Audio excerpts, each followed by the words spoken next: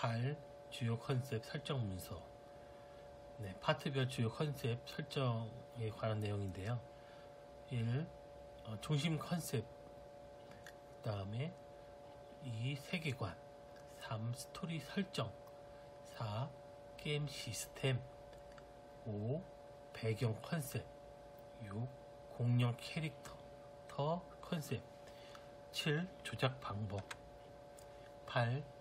GUI 9. 사운드 9. 어, 10번이죠. 게임 시점 11. 인공지능 12.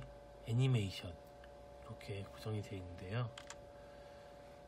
중심 컨셉은 이제 VR 공간에서 돌아다니는 형태이고 세계관은 어, 16종 3D 공룡 캐릭터가 300여 마리가 어, 배치되어 있고 체험자가 돌아다니면서 어드벤처 한다는 어, 형태이고요.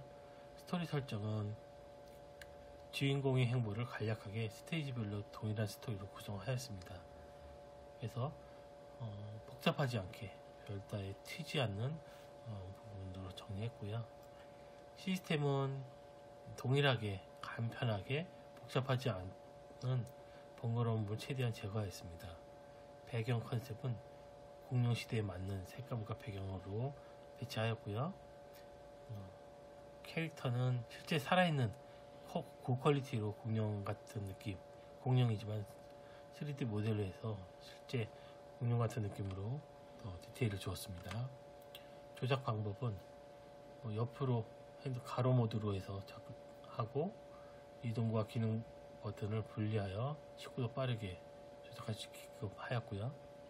1인칭 내비게이션 바를 배치하여 알기 쉽게 조정하였고 사운드는 숲속 느낌의 한 곡을 준비하고 효과음은 각 공룡별 효과음 3개 이상씩 해서 48개에서 한 50여 개 이상 준비하여 배치하였습니다.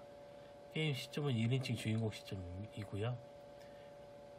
공룡 캐릭터별 각 스테이지별로 네 군집으로 나누고 AI를 통해서 5마리 까지 랜덤하게 움직이고 십자선 커서를 통해서 시선 타겟이 음, 어, 시선 어, 타겟을 통해서 움직이게끔 처리하였습니다.